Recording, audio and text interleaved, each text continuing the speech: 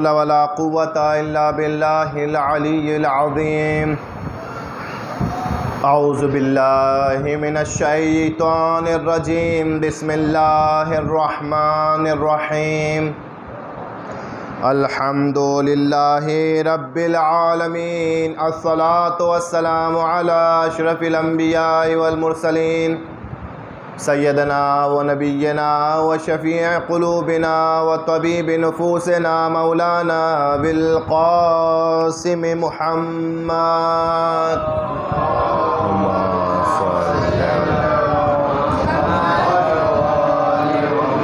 وعلى أهل بيته الطيبين الطاهرين المعصومين المظلومين. ولعنة الله على أعدائهم أجمعين من يوم عداوتهم إلى قيام يوم الدين. أما بعد، قال الله الحكيم في كتابه الكريم، بسم الله الرحمن الرحيم. لا تعبدوا إلا الله وبالوالدين إحسانا. صلوات پڑھے محمد وعلى محمد صلی اللہ شب جمعہ ہے، شب مغفرت ہے، شب ایصال ثواب ہے، شب استجابت دعا ہے۔ اور جہاں اس شب جمعہ کو مختلف عبادتیں ہم اور آپ انجام دیتے ہیں، وہیں یہ شب جمعہ آج اور اکثر جس عبادت کو انجام دیا جاتا ہے، وہ ہے امام کی مجلس اعضاء لہٰذا، آج کیونکہ شب جمعہ بھی ہے اور مرحوم کے بیسویں کی مجلس، دو مناسبتیں جمع ہوئی ہیں۔ قرآن کی جس آیت کو میں نے سرنامہ کلام کے طور پہ پیش کیا، پروردگار اس آیت میں دو چیزوں کا حکم دے رہا ہے۔ ایک تو حکم یہ دے رہا ہے، لا تعبدو الا اللہ۔ اللہ کے علاوہ کسی کی عبادت نہ کرو۔ اور دوسرا حکم دے رہا ہے وبل والدین احسانہ اور اپنے ماں باپ کے ساتھ احسان کرو۔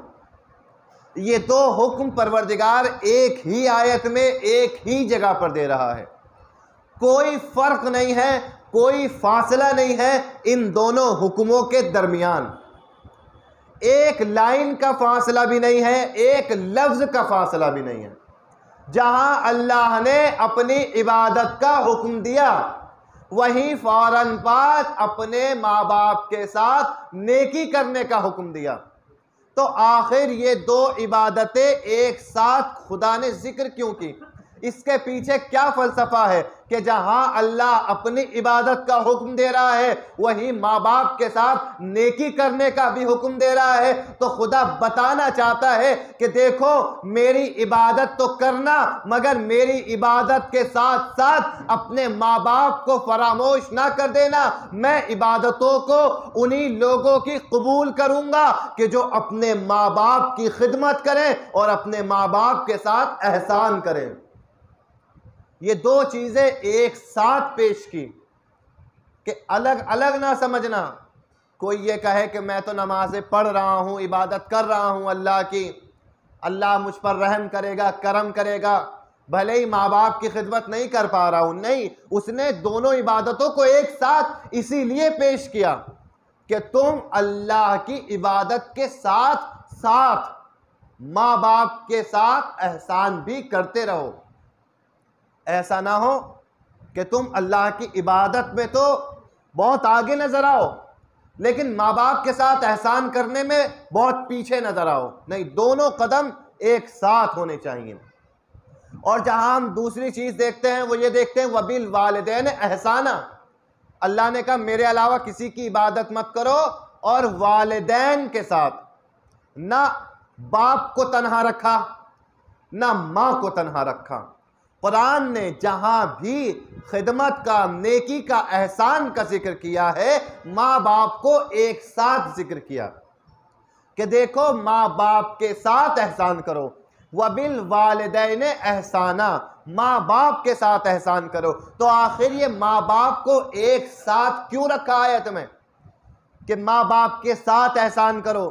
کہاں ایسا نہ ہو کہیں کہ تم جس طریقے سے آپس میں اپنی وراثتوں کو تقسیم کر لیتے ہو کہ یہ گھر میرا ہے، یہ وراثت میری ہے یہ منزل میری ہے، یہ کھیت، یہ باغ میرا ہے۔ کہیں ایسا نہ ہو، تم آپس میں رشتوں کو بھی تقسیم کر لو کہ دو بیٹے ہیں، ماں ایک کی خدمت کے لیے، باپ ایک کے لیے۔ ایک بیٹا ماں کی خدمت کرے، ایک بیٹا باپ کی خدمت کرے۔ جو باپ کی خدمت کر رہا ہے، وہ ماں کی خدمت سے محروم ہو گیا۔ جو ماں کی کر رہا ہے، وہ باپ کی خدمت سے محروم ہو گیا۔ تو عبادت تو دونوں کر رہے، مگر الگ الگ کر رہے تھے۔ اللہ کو یہ عبادتیں الگ الگ منظور نہیں تھی۔ اللہ نے کہا، نہ میں نے قرآن میں اکیلے باپ کے ساتھ احسان کرنے کا حکم دیا، نہ اکیلے ماں کے ساتھ احسان کرنے کا حکم دیا۔ میں نے اولاد کو حکم دیا، ایک ساتھ دونوں کے ساتھ احسان کرے، جتنا ماں کے ساتھ احسان کرے، اتنا ہی باپ کے ساتھ احسان کرے۔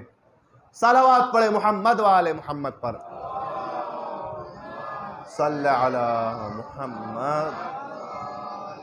اس نے الگ نہیں کیا اپنے بندوں کو کہ جیسے ماں کے ساتھ احسان کرنا ہے، ایسے ہی باپ کی خدمت، باپ کے ساتھ احسان۔ ایک احسان تو ہمارا، ہماری زبان کا احسان ہوتا ہے۔ احسان کا مطلب کیا ہوتا ہے؟ ماں باپ کے ساتھ کیا کرو؟ احسان کرو۔ مطلب کیا ہے احسان کا؟ ہمارے یہاں مطلب احسان کا یہ ہوتا ہے کہ جیسے کہ مثلا میں نے کسی کی ضرورت میں مدد کر دی۔ کسی کو ضرورت تھی پیسوں کی، میں نے اسے پیسہ دے دیا، اس کی ضرورت کو پورا کر دیا۔ کسی کو دوائی کی ضرورت تھی، دوائی کے پیسے نہیں تھے، میں نے اس کو دوا دلا دی۔ یہ ہوا احسان۔ بدلے میں میں نے کچھ نہیں چاہا۔ اس کی مدد کی۔ اس کی مدد کی۔ یہ میں نے اس کے اوپر احسان کیا ہے۔ کیا اللہ ایسا احسان کرنے کو کہہ رہا ہے ماں باپ کے ساتھ؟ کہ اگر ماں باپ بیمار ہو تو دوا دلا کے لے آنا۔ ماں باپ اگر مریض ہو تو ان کی خدمت کرنا نہیں، یہ احسان تو ہمارا آپس میں ایک دوسرے کے ساتھ بھی ہے۔ یہ ماں باپ کے لیے مخصوص نہیں ہے، سب کے ساتھ ہے۔ آپ کے لیے بھی مجھے یہ احسان کرنا ہے، آپ کو میرے لیے یہ احسان کرنا ہے۔ اس احسان کے لیے ماں باپ کی کوئی خصوصیت بیان نہیں ہوئی ہے۔ اگر کوئی مجھ سے اپنی ضرورت کو بیان کرے، میں اس کی ضرورت کو پورا کر دوں۔ یہ میرے طرف سے اس کے اوپر احسان ہے، مگر ماں باپ کے لیے اس احسان کو نہیں کہا گیا کہ ماں باپ اگر ضرورت بیان کرے تو ان کی ضرورت کو پورا کر دو، نہیں، یہ ہر جگہ احسان ہے، لیکن ماں باپ کے ساتھ احسان اور نیکی یہ ہے کہ ماں باپ کو کہنے کی ضرورت نہ پڑے کہ مجھے یہ ضرورت ہے۔ ایسی خدمت ماں باپ کی کرو کہ کہنے کی ضرورت ہی نہ پڑے۔ اس کا مطلب یہ ہے کہ ماں باپ کے ساتھ احسان، ایسا احسان خدا چاہتا ہے۔ ورنہ جو احسان ہم سمجھتے ہیں، وہ تو سب کے ساتھ احسان ہے۔ ماں باپ کے لیے احسان یہ ہے کہ ماں کو کہنے کی ضرورت نہ پڑے کہ مجھے فلاں چیز کی ضرورت ہے۔ باپ کو کہنے کی ضرورت نہ پڑے کہ مجھے فلاں نعمت کی، فلاں چیز کی ضرورت ہے۔ ان کے کہنے سے پہلے ان کی ضرورتوں کو پورا کر دینا۔ یہ ماں باپ کے ساتھ احسان ہے۔ جیسے ہمارے بچے بیٹھے ہوئے ہیں۔ بچوں کو یہ معلوم ہو کہ مجھے میرے بابا کے لیے، میرے باپ کے لیے، میرے والد کے لیے کب کیا کرنا ہے۔ کب میرے والد، کب میرے پاپا گھر آئیں گے، انہیں پانی کی ضرورت ہوگی۔ کب گھر آئیں گے، کب انہیں کس چیز کی ضرورت ہوگی۔ تو ضرورت یہ ہے، بجائے اس کے کبھی کبھی تو ایسا ہوتا ہے کہ سامنے سے ہم سے والد ہمارے ہمارے والد، ہمارے باپ کہتے ہیں، بعض موقعوں پر بچے پھر بھی انجام نہیں دیتے۔ مثلا بچوں سے کہا جاتا ہے کہ میرے بچے یہ کام کر، اور بچے نہیں کرتے۔ کہ نہیں، میں نہیں کر سکتا۔ بڑے ہو جاتے ہیں تو اور زیادہ کہ نہیں فلا بھائی بھی تو ہے۔ اس سے کہہ دو۔ فلا بھائی سے کہا کہ میرا یہ کام کر دو۔ کہ میں نے تو ابھی پچھلے دنوں ہی کیا تھا آپ کے ساتھ، اب فلا بھائی کا نمبر ہے۔ فلا بھائی کے ساتھ کر دو۔ نہیں۔ ماں باپ کے ساتھ احسان اور نیکی کرنے کے لیے ان چیزوں کو دیکھنے کی ضرورت نہیں ہے۔ اگر بچوں کو محسوس ہو رہا ہے کہ اب میری ماں کو، میری والدہ کو اس چیز کی ضرورت ہے، تو اس ضرورت کو فوراً پورا کرے۔ بجائے اس کے کہ یہ سوچے کہ میرا دوسرا بھائی اس ضرورت کو پورا کر رہا ہے یا نہیں کر رہا ہے۔ خود آگے بڑھ کے ضرورت کو پورا کرے۔ اور عزیزو، ماں باپ کے ساتھ احسان اور نیکی کرنا یہ واقع بہت آسان ہے، مشکل نہیں ہے۔ ماں باپ کے ساتھ نیکی کرنا مشکل نہیں ہے، لیکن عزیزو دیکھیے گا، اس کی جزا جو خدا دیتا ہے، وہ جزا ہر عبادت کی جزا سے بڑی ہے۔ ہر عبادت سے بڑی ہے، کیونکہ افضل عبادتوں میں، افضل عبادتوں میں جن عبادتوں کو شامل کیا گیا ہے، ایک ہے اول وقت نماز پڑھنا، افضل عبادتوں میں۔ ایک ہے اول وقت نماز پڑھنا، دوسرا ہے ماں باپ کے ساتھ نیکی کرنا، تیسرا ہے امام زمانہ کا انتظار کرنا۔ صلوات پڑھے محمد۔ صلی علی محمد۔ تو کائنات میں افضل عبادتوں میں ایک عبادت بنا دیا ماں باپ کے ساتھ نیکی کرنے کو۔ اول وقت نماز پڑھنا ایک عبادت، بڑی عبادتوں میں۔ ماں باپ کے ساتھ نیکی کرنا بھی بڑی عبادتوں میں ایک عبادت۔ اور امام کے ظہور کا انتظار کرنا بھی بڑی عبادتوں میں سے ایک عبادت۔ مگر اس نیکی کرنے کا جو ثواب اور جو جزا ہے نا، وہ جزا دنیا میں بھی بے حساب بچوں کو ملتی ہے، آخرت میں بھی بے حساب ملتی ہے۔ خیر، آخرت کا تو کوئی میں آپ کو منظر دکھا نہیں سکتا۔ وہ خود انسان دیکھے گا کہ اسے ماں باپ کی خدمت کی آخرت میں کیا جزا ملے گی۔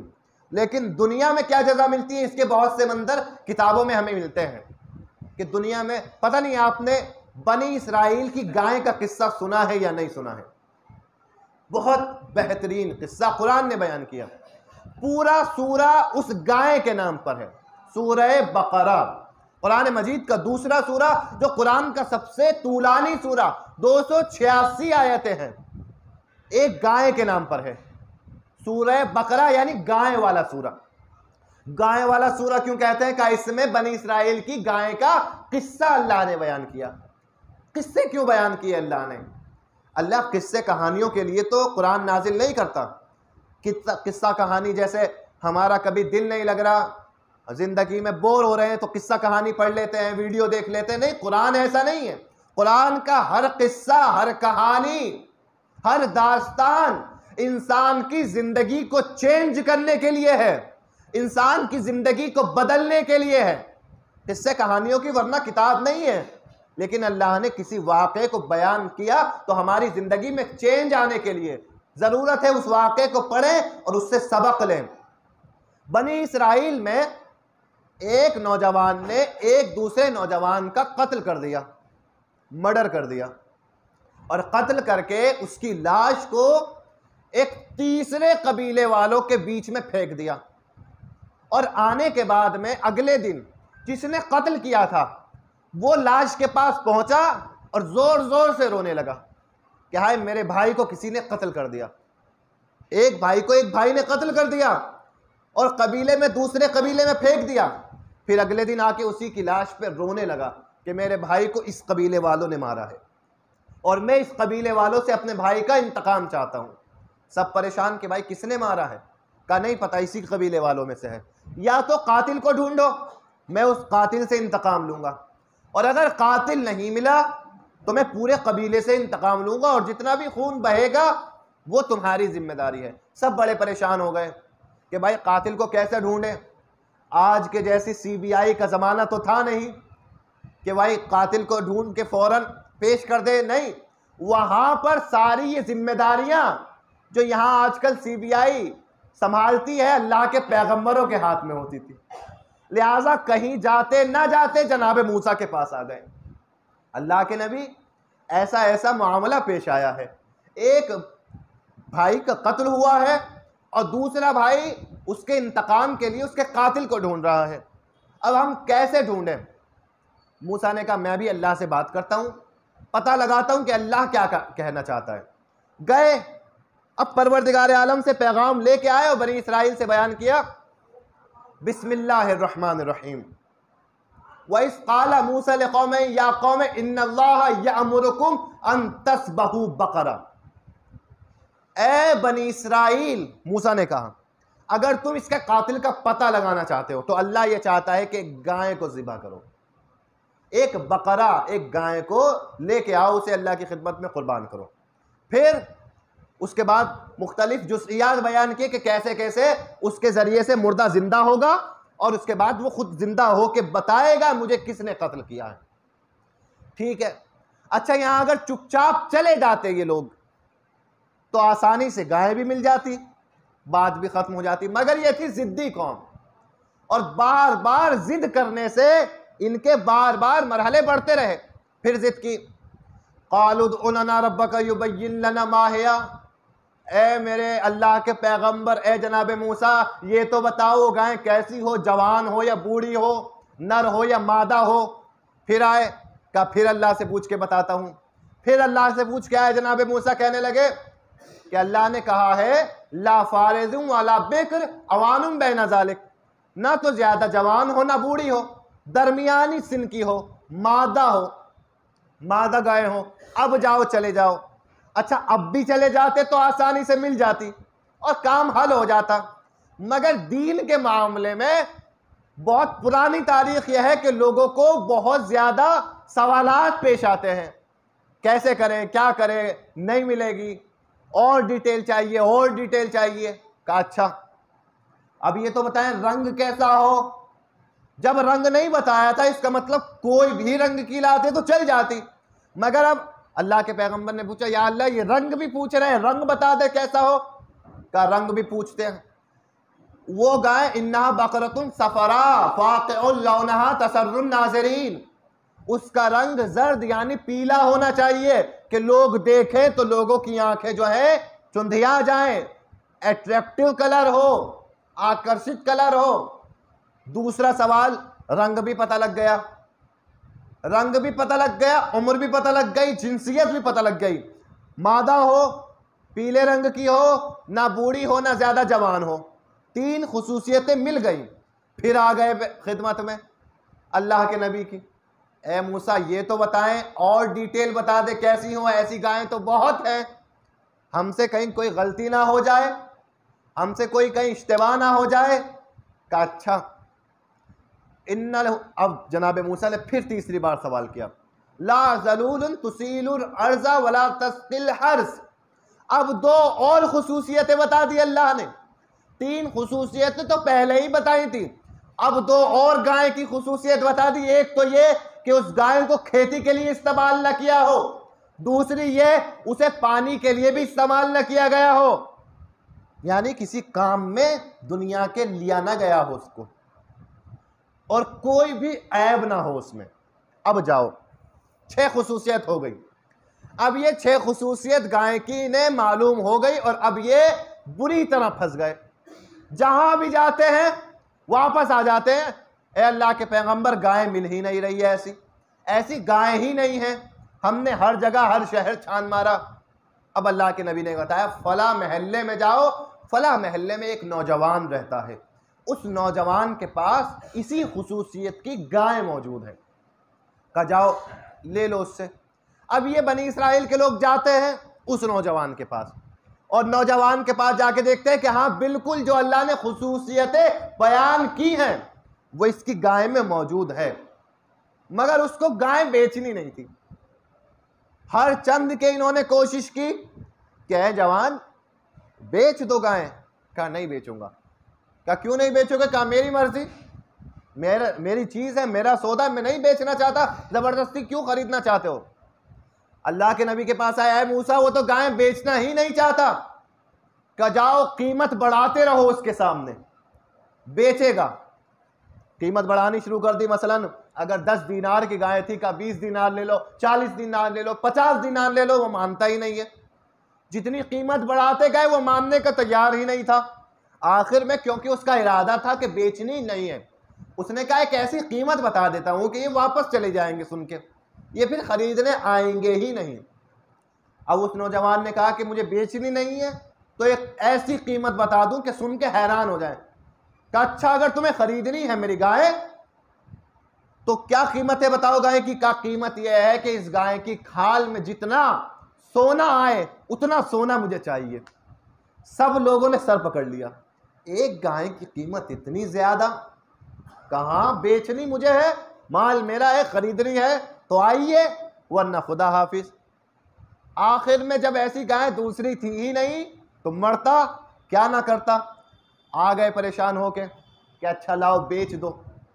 بیچو اس گائے کو۔ وہ بڑا حیران ہوا، پریشان ہوا۔ اب کیونکہ کہہ چکا تھا جوان کہ اتنی قیمت پہ بیچ دوں گا، سامنے والے راضی بھی ہو گئے۔ اب اپنے قول سے پھر نہیں سکتا تھا۔ بیچ دی۔ اور جب وہ گائے لے کے جانے لگے، یہ نوجوان تھا جو بڑا مسکرا رہا تھا۔ مسکرا رہا تھا، بڑا خوش ہو رہا تھا۔ مڑ کے لوگوں نے پوچھا مسکرانے کا سبب کیا ہے؟ سنیے گا عزیزو مسکرانے کا اتنی خوشی کا سبب کیا ہے؟ کہا، میں اپنے باپ کی بات کی حقیقت کو سمجھ گیا ہوں۔ اپنے باپ کی بات کی حقیقت کو سمجھ گیا، اسی لیے مسکرا رہا ہوں۔ کیا کیا حقیقت تھی؟ کب حقیقت یہ تھی کہ میری تھی دکان؟ میں دکان پہ فلا سامان بیچا کرتا تھا۔ میری دکان پہ آیا تھا ایک بار گراہک اور گراہک کو سامان زیادہ چاہیے تھا۔ میری دکان میں اتنا سامان تھا نہیں اور وہ دکان میں سامان نہیں تھا، وہ سامان گودام میں رکھا تھا۔ گودام پہ تالا لگا تھا۔ تالے کی چابی جس بستر کے نیچے تھی، اس بستر کے اوپر میرے باپ، میرے والد لیٹے ہوئے تھے، آرام کر رہے تھے۔ جب وہ گراہک آیا، میں نے کہا، میں اندر گودام سے لے کر آتا ہوں سامان، رک جاؤ۔ جب میں گودام دیکھنے گیا، تالا لگا ہوا تھا، چابی دیکھنے گیا تو اس بستر پہ تھی، بستر کے اوپر والد آرام کر رہے تھے، میں کھڑا ہو گیا۔ مجھے اچھا نہیں لگا کہ میں دنیا کے مادی فائدے کے لیے اپنے باپ کے آرام میں خلل پیدا کروں۔ اس کو سوتے ہوئے سے بیدار کروں، میں وہی کھڑا رہا جب تک میرا باپ خود اپنی نیند سے بیدار نہ ہو گیا۔ جب وہ بیدار ہوا، گراہک چلا گیا۔ دنیا میں جو نقصان ہونا تھا، ہو گیا۔ اب میں نے جو اپنے باپ کو اپنا واقعہ بتایا کہ ایسے ایسے گراہک آیا تھا، گودام میں سامان پڑا تھا، چابی آپ کے بستر کے نیچے تھی، مگر میں نے آپ کو بیدار نہیں کیا۔ باپ کا دل خوش ہوا۔ عزیزو، اگر باپ کا دل کسی اور اولاد نے خوش کر دیا اور اس خوش دل سے، باپ کی زبان سے کوئی دعا نکل گئی، وہ دعا پوری زندگی کا مقدر بدل سکتی ہے۔ باپ کا دل خوش ہوا۔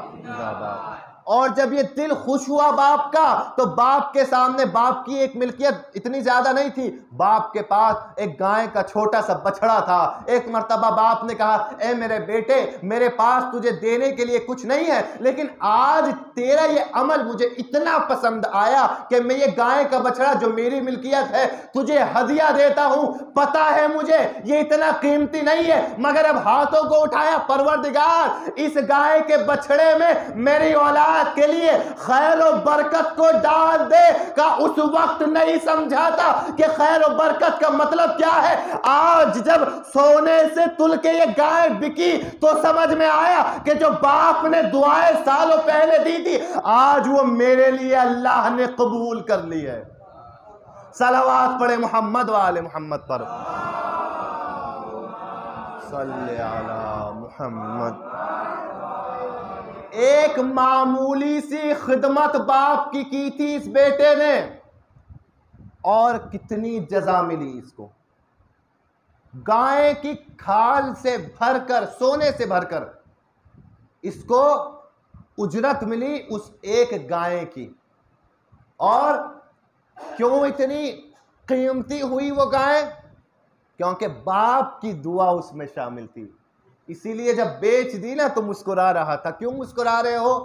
کہا سمجھ میں آ گیا کہ باپ کی خدمت دنیا میں بھی رائے گا نہیں جاتی اور آخرت میں بھی رائے گا نہیں جاتی۔ باپ کی خدمت ہے۔ جس کا صلہ اللہ دنیا میں بھی عطا کرتا ہے، آخرت میں بھی عطا کرتا ہے۔ اور عزیزو، ایک نظم کے کچھ دو تین شعر آپ کی خدمت میں پیش کرتا ہوں۔ سنیے گا کہ باپ کیا ہے؟ ایک باپ کے بیسوے کی مجلس ہے۔ ایک باپ کو سمجھیے گا کہ باپ اولاد کے لیے کیا منزلت رکھتا ہے۔ اپنے بچوں کے لیے الفت کا دریا باپ ہے۔ اپنے بچوں کے لیے رحمت کا سایہ باپ ہے۔ واقعاً اگر دنیا میں کوئی رحمت کا سایہ ہے اللہ نے جو سایہ بنایا ہے، وہ باپ کے اوپر جیسے ایک گھنا پیڑ کچھ مسافروں کو کچھ دیر کے لیے سکون دے سکتا ہے۔ ویسے ہی گھر کے اندر باپ کی برکت سے پروردگار اولاد کو سکون و اطمینان دیتا ہے۔ اپنے بچوں کے لیے رحمت کا سایہ باپ ہے۔ عزیزو، آج اگر آپ یہاں موجود ہیں، مثال کے طور پر اگر عمران کی کوئی تعریف کرے عمران بھائی کی کوئی تعریف کرے تو مثلا یہ حسین بیٹھا ہوا ہے، اس کے دل میں خوشی نہیں ہوگی۔ اس کی تعریف ہے۔ اس کی تعریف نہیں ہے۔ اگر کوئی اس کی تعریف کرے بچہ بہت اچھا ہے، مکتب میں اچھا پڑھتا ہے، تو ان کی خوشی ان کی تعریف نہیں ہوگی۔ سب کی تعریف اپنی مخصوص پرسنل تعریف ہے۔ ان کی تعریف سن کے، بھائی، ایک ہوتا ہے سماج میں رہنا، ٹھیک ہے، ہم حوصلہ افزائی کریں گے سلوات پڑھیں گے، لیکن ان کی تعریف سن کے دلی خوشی جو ملنی چاہیے مجھے نہیں ملے گی، جو مجھے اپنی تعریف سن کے ملے گی۔ یہ اصول دنیا ہے، اصول زندگی ہے، لیکن باپ کا کردار ایسا نہیں ہے۔ ذکر اپنا ہی سمجھتا ہے ہمارے ذکر میں۔ جب بھی کہیں معاشرے میں اولاد کی تعریف کی جاتی ہے، تو جتنا اس اولاد کا دل خوش ہوتا ہے، اتنا ہی باپ کا دل بھی مسرور ہوتا ہے۔ یہاں کوئی کمپٹیشن نہیں پایا جاتا۔ ذکر اپنا ہی سمجھتا ہے ہمارے ذکر میں۔ فکر اپنی بھول جاتا ہے ہماری فکر میں۔ جاگ کر خود رات میں ہم کو سلاتا باپ ہے۔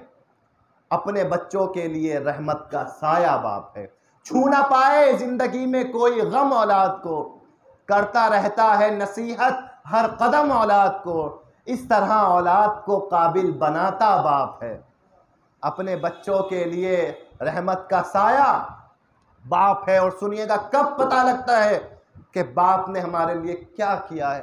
کی نچھاور خالق اکبر نے اپنی رحمتیں۔ کب سمجھ میں آتا ہے انسان کو باپ؟ کی نچھاور خالق اکبر نے اپنی رحمتیں۔ جب خدا نے دی ہمیں اولاد جیسی نعمتیں، تب سمجھ آیا کہ کیا زحمت اٹھاتا باپ ہے۔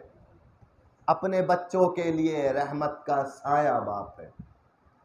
بڑی عظمتوں سے، بڑی زحمتوں سے ایک باپ اپنے بچے کو بڑھا کرتا ہے۔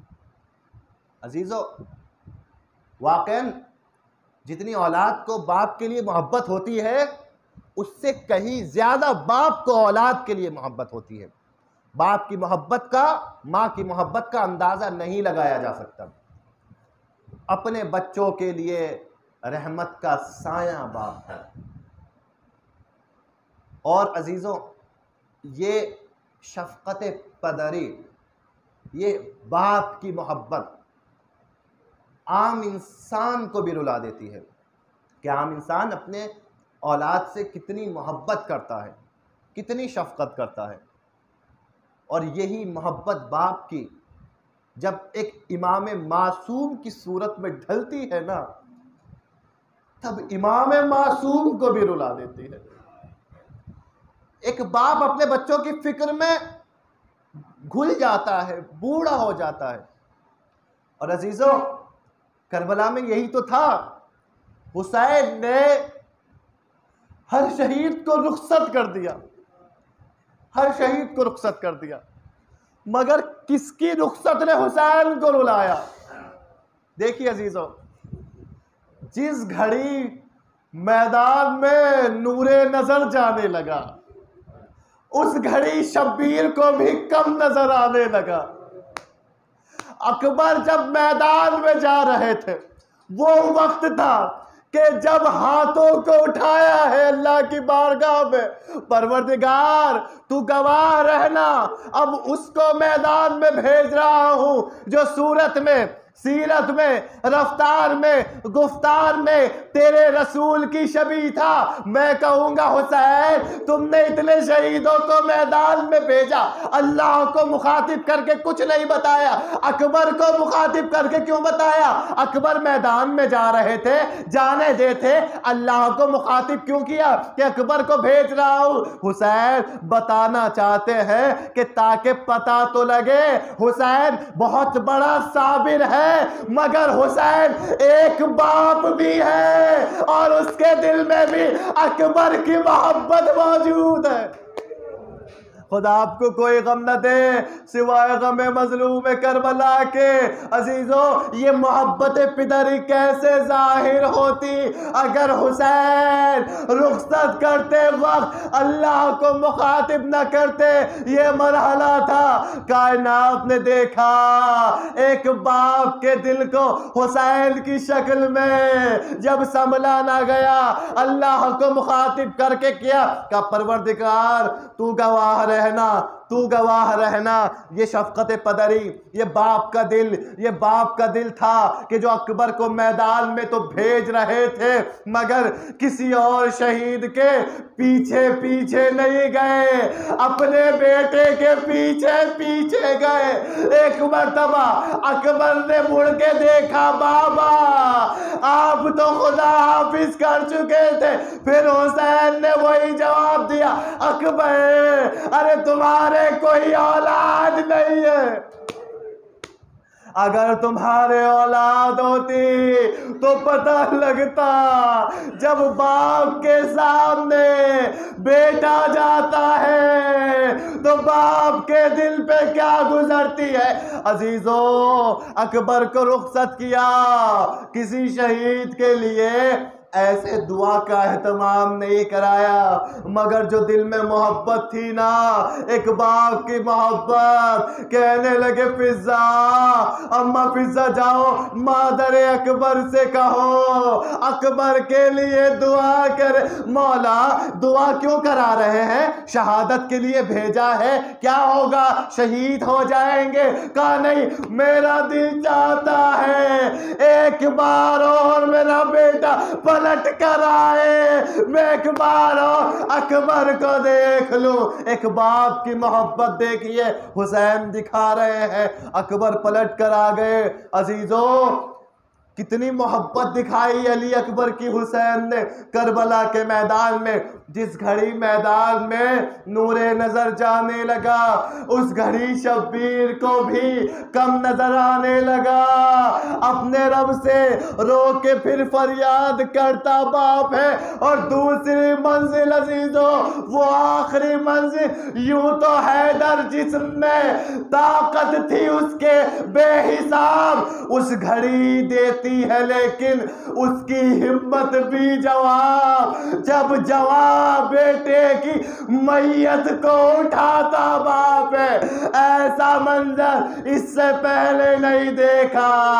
اکبر کے جنازے کو حسین سے اٹھایا نہ گیا۔ حسین ہے، امام وقت ہے، مگر چھوٹے چھوٹے بچوں کو آواز دے کر بلایا۔